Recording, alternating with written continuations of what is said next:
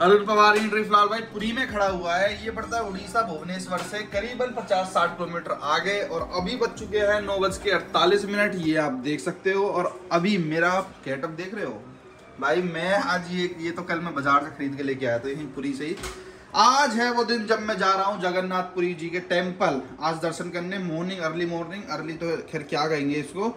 भाई, मंदिर साढ़े पाँच बजे सुबह खुल जाता है, रात के बारह बजे तक खुलता है। कल रिक्शा वाले भैया कह रहे थे हमसे कि अभी चले जाओ, रात को नौ दस बजे कर आओ दर्शन। पर मैंने कहा, भाई, कि अब ज़्यादा लेट हो गया। कल सुबह फ्रेश उठ के नहा धो के ढंग से लत्ते पहन के तब जाऊँगा। तो मैंने भैया अपना रूम वूम देख सकते हो, पूरा समेट लिया है। शिफ्टेड टू चप्पल्स और अब ये जूते ले लूँगा हाथ में। और मेरे ख्याल से भाई, मैंने एक दिन का स्टे लिया था, आज रात की बुकिंग है मेरी ट्रेन की। देखो, अगर मिल जाए तो वेल एंड गुड है। फ़र्स्ट एसी बुक करवा रखा है, पर अगर नहीं हुआ ना भाई, वो पाँच वेटिंग में चल रहा है। सवा बारह की ट्रेन है, बारह पंद्रह की। नहीं हुआ तो मेरे को एक दिन और स्टे करना पड़ जाएगा। अभी मैं एक अगर उससे अगले दिन की मतलब छब्बीस तारीख की अब ट्रेन बुक कर दूँगा, दस पंद्रह पे तत्काल बुकिंग होगी। वो तो कन्फर्म हो जाएगी, पर वो वैसी ही थी, तत्काल में भी वेटिंग में। तो भाई, बड़ी वो, मैं तो बस होप कर रहा हूँ कि आज की मिल जाए तो यहाँ से मैं फ्री होके मंदिर से और बीच बाच घूम के सीधा चला जाऊँगा स्टेशन से फरार। बट भैया, अगर नहीं हो पाई टिकट बुक तो भाई मेरे को फिर मतलब कंफर्म नहीं हो पाई तो बड़ी दिक्कत हो जाए। खैर छोड़ो, ये तो बात की बात है। पहले दर्शन करते हैं मंदिर के, उसके बाद का प्लान देखेंगे कि क्या करना आगे कैसे जाना है, कैसे नहीं जाना। यहाँ पे प्लान करके आओ भाई, मेरी तरह ऐसे उठ के मत आ जाओ। बस ये है कि अब दस पंद्रह की तत्काल की बुकिंग तो कर ही दूँगा, परसों की। भाई जाना तो है ही किसी भी हालत पे, वैसे थोड़ी ना रोड डिले कर सकता हूँ। तो वो अब जा, अब बुक कर दूँगा दस पंद्रह पे, जब तत्काल की बुकिंग खुलेगी। वरना तो भाई मैं फंसा रह जाऊँगा यार, ऐसे ट्रेन की टिकट मिलती ही नहीं है यार, सबसे सैड लाइफ तो ये है।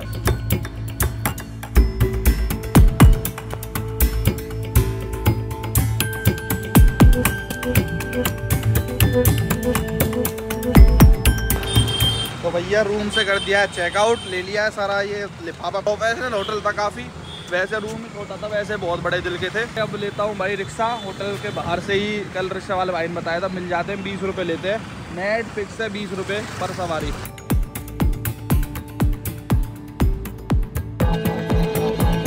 भाई जैसा मैंने कहा था, यहाँ पे वही ट्वेंटी रुपीज़ पर ट्रैवलर हमको यहाँ पे ऑटो या फिर अपना ऑटो रिक्शा वगैरह मिल जाते हैं। तो वो मिल गया मेरे को, एक मिनट भी खड़ा नहीं रहना पड़ा। अपने आप को जाके पूछ लेते हैं। तो दिक्कत बात होती है फटाफट चलता हूँ।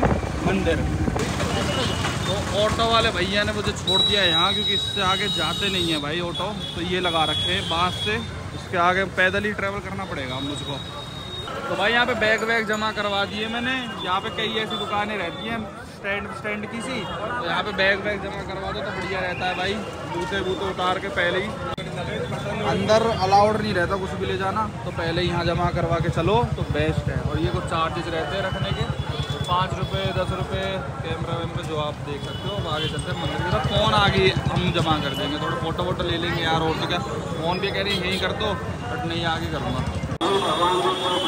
भाई, ये देखो भाई, जगन्नाथ मंदिर, यहाँ कहते हैं जो झंडा है ना ध्वज, ये उल्टी दिशा में मतलब वो होता है। फैरता है जिधर भी हवा चल रही होगी। और इसके ऊपर प्लेन नहीं उड़ते पक्षी नहीं उड़ते ऐसे मतलब कई फैक्ट्स मान्यताएँ हैं इस मंदिर की ना। अंदर तक तो फ़ोन ले जाना अलाउड ही नहीं है। क्या फ़ोटो वोटो खींचो? और अब देखता हूँ कहाँ से एंट्री यहीं से है क्या? अरे भाई पता ही नहीं क्या। भाई यही है मेन जहाँ से एंट्री है तो फ़ोन यही जमा कर देता हूँ। नहीं नहीं नहीं। नहीं नहीं कुछ नहीं। ये वाली स्कीम तो हर जगह है कि दर्शन करा देगा मतलब गाइड वाली हर जगह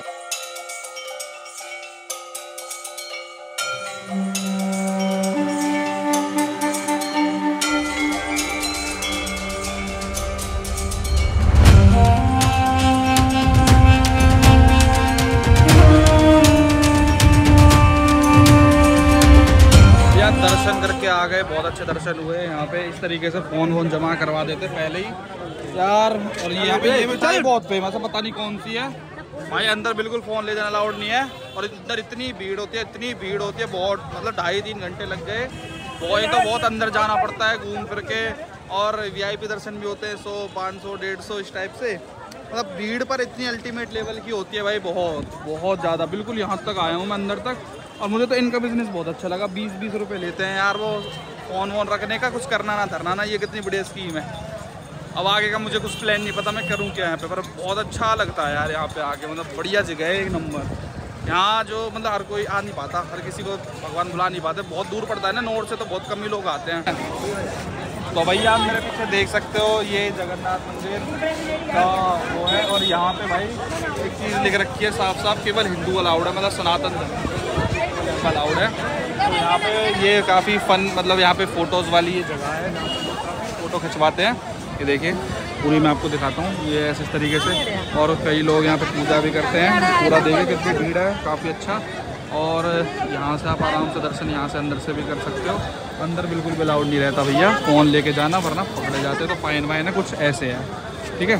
चलो भाई, अब मैं चलता हूँ। काफ़ी अच्छे दर्शन, अब देखते हैं भाई क्या करने हैं आगे क्या नहीं करना। जैसे मैंने आपको बताया, मेरी वो तो बुक हुई नहीं, ना तत्काल में हुई। पता नहीं भैया क्या करूँगा, अब क्या ना करूँगा। ट्रेन का भी अलग ही सिस्टम है इंडिया में। एक चीज़ और नोटिस करो, आपको जो दुकानें हैं, ये कुछ सिमिलर लग रही है कहीं से? गैस करो कहाँ से। जो पंजाब वाले, अमृतसर वाले भाई हैं, वो तो समझ गए होंगे। देखो, जैसे वहाँ पे एक थीम रहती है ना, ऐसे लिखे रखते हैं। सेम उड़ी वहाँ पे पंजाबी और इंग्लिश में लिखे रखते हैं। यहाँ पे उड़ी उड़िया जो इनकी भाषा है, उड़ीसा की और उसमें लिख रखा है। वाह, पूरी ये पूरा उसी तरीके का थीम बना रखा है और यहाँ से चलते हुए टेंट में से जाते हैं। यहाँ भीड़ नहीं दिखती, लेकिन अंदर घनी भीड़ है। मतलब अगर जिनकी हाइट छोटी है भाई, उनको तो दर्शन करने में बड़ी स्ट्रगल करना पड़ेगा भाई। दिखता ही नहीं है कुछ इतना और इतनी जल्दी जल्दी करते हैं बहुत। और भाई, एक चीज़ हो रहा है, ये मुझे, ये तो समझ ही नहीं आता वीआईपी का सिस्टम मतलब अगर आप पैसे दे, दोगे तो आपको बिल्कुल आगे से दर्शन करने को मिलेगा। अगर आप थोड़े गरीब हो तो भाई फिर तो दूर से ही देखो बस, धक्का मुक्की में। एक पुलिस वालों का एटीट्यूड मेरे को यहाँ पे अच्छा नहीं लगा यार। यहाँ अजीब से ही है मतलब काइंडनेस पोलाइटनेस तो है ही नहीं। लोग बहुत बढ़िया हैं बट वो पुलिस वाले वहाँ पे अंदर थोड़े अजीब से ही हैं यार। भाई ऐसे डंडी सी मारते रहते हैं। ऐसे बोतलों को बजाते रहते हैं फालतू में मतलब वो रूड से रहते हैं यार बहुत ज़्यादा। मतलब जैसे ये कलयुग का मंदिर बोला जाता है ना जैसे कलयुग को वो करता है तो अंदर भी आपको दिखती है वो सारी चीज़ें कहीं कहीं पे। भाई खाना पीना भी खा लिया मैंने यहाँ पे। अब मेरे को एक चीज़ में बड़ी कन्फ्यूज़न हो रही है। मेरी ट्रेन नहीं हुई भाई बुक अब मेरे को सोच सोच के सर करने को कुछ और है ही नहीं भाई वो मंदिर के अलावा। बीच में कल हो आया और फिर से बीच आ गया। भैया प्लेन से चला करो कभी मेरी तरह नहीं। यहीं बैठ जाता हूँ, मेरे को तो सच में समझ ही ना आ रहा कि मैं करूँ क्या एक्चुअल में। तो अब मैंने क्या करा है भाई, जहाँ पे मेरे को जाना था, वहाँ गई तो डायरेक्ट ट्रेन मिली नहीं। तीन बुक करी थी मैंने, तीन ट्रेनों में। तीनों में किसी में भी कन्फर्म नहीं हो रही ना, तत्काल ना नॉर्मल कुछ भी। अब भाई, फिर मैंने क्या करा, बीच रास्ते का एक जगह पर स्टेशन पे अवेलेबल दिखा रहा था, वो बुक करी है, आधे रास्ते तक। उसके बाद देखूँगा, पहले यहाँ से तो निकलूँ यार। बड़ी बुद्धि चटक रही है कसम से। भैया, बीच पे तो क्या ही जाता, वहाँ तो पर घंटे के हिसाब से पैसे लेते हैं बैठने के भी। तो मैंने एक ही जगह ढूंढ लिया आसपास की यहाँ बास्केटबॉल खेलते होंगे बाल बच्चे भाई विदाउट आइटनरी कहीं का प्लान मत बना लेना, मैं बता रहा हूँ मेरी तरह। वरना पछताते ही रहोगे। खैर, अभी मैंने क्या किया है भाई? मैंने ट्रेन जैसे बुक करी है, वही ट्रेन आधे आधे हिस्सों में। जैसे वो बीच रास्ते तक अवेलेबल थी, दस घंटे तक तो मैंने वो बुक कर ली, उससे आगे कोई और ट्रेन बुक कर ली। तो इस तरीके से भी आप कर सकते हो, अगर वन गो में आपको ट्रेन नहीं मिल रही है तो ये भी एक अच्छा ऑप्शन है मेरे ख्याल से। बस वेट कर रहा हूँ, शाम होने का जैसे सनसेट होगा तो बीच पे चला जाऊँगा, वहाँ पे आपको दिखाता हूँ नज़ारे बीच के सनसेट के। अभी तो साढ़े तीन हुए हैं, अभी तो वहाँ जाके कुछ फ़ायदा है नहीं। पर यार भैया, गर्मी बहुत है मैं बाबा जी बना घूम रहा हूँ। बहुत हॉट है यार यहाँ पे ह्यूमिडिटी लगी नहीं रहा, हमारे वहाँ तो ठंड सी पड़ने लगी यहाँ कुछ भी नहीं है। भैया, अब तक मैं अच्छो भलो बैठा हो, पर अब भैया आके यहाँ पे क्रिकेट खेलने लगे। अब मेरे को यहाँ से भी भागना पड़ेगा। सैड लाइफ देख रहे हो, ज़िंदगी में कितनी है भाई। अच्छा वाला बैठा था मैं कम से कम दो तीन घंटे से बट ये आके खेलने लगे और मेरा बॉल इतनी सी बची बस। मैं तब भी ऐसे खेलते रहेंगे, क्या दिक्कत है? इतनी सी नेट बची मैन की भैया, जहाँ टूट जाएगा रहंदर चल, बीच पर चल, और फिर सनसेट भी आ रहा हो, वहाँ जाके सनसेट इन्जॉय करूँगा। ट्रेन भी तो भाई ग्यारह बजकर चालीस मिनट की रात की है। यहाँ पैसे निकाल लेता हूँ कैश में। मैंने एक चीज़ ऑर्डर करी है। यहाँ पूरी में ना थोड़ा यूपीआई यूपीआई का तो कमी चला है यार। ज़्यादातर लोग कैश ही मांगते हैं। तो लो भैया फिर हम भी कैश ही देंगे। भाई अभी मैं बीच पे आ गया। रात को तो कुछ भीड़ नहीं थी इतनी। तो थी पर अब देखो कितनी भीड़। अब बीच क्या लगता है यार? सनसेट या साढ़े चार बजे सनसेट है। यहाँ पता ना क्या चक्कर है। यहाँ के जाऊँगा, तगड़ों से फ़ोटो अपनी यार ड्रेस में। भाई, लोग अपनी ज़िंदगी से कंप्लेंट करते रहते मेरे जैसे, ये देखो भाई, वीडियो किससे बना रहे हैं अंकल देख रहे भैया? मतलब क्या ही कंप्लेंट है हमें अपनी ज़िंदगी से। फ़ोटोज़ वोटोज़ भाई साहब, मान गया मैं। कीपैड फ़ोन है, बहुत मंदे टाइम का। ये देखो, बस क्या कि बीच की वीडियो लेनी है। भाई साहब, भाई, बहुत मज़ा आ गया। भाई देखो भाई मैं समुद्रों के पास फाइनली आ गया। देखो मैं आगे तक जाऊँगा।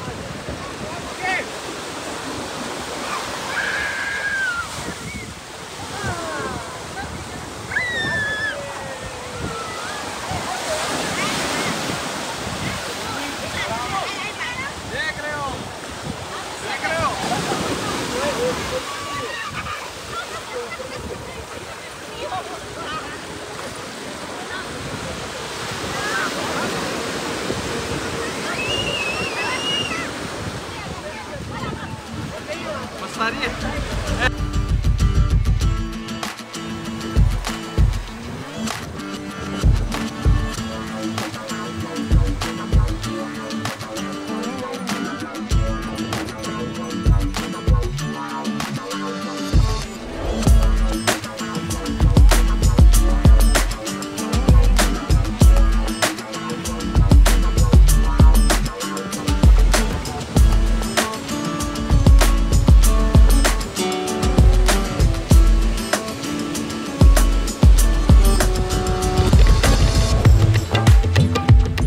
चलो भैया, शाम हो गई है। भाई से मैंने इससे ले लिया समोसे और कुर्सी भी ले लिया बैठने का नहीं है तो थक गो यार, बैग लिए डोल रहा हूँ ना। भैया, समोसे देखो कितने बड़े बड़े रहे हैं। ये देखो, ज़्यादा बड़े समोसे में थवेंगे इन्हें बीस रुपया के। भाई, अभी मैं कहते कोने पे खड़ा हूँ, भारत के। पूरी एकदम वहाँ पे यार हमारे यहाँ पे भाई मिल जाते हैं हमको। देख के बड़ी प्रसन्नता होती है भाई।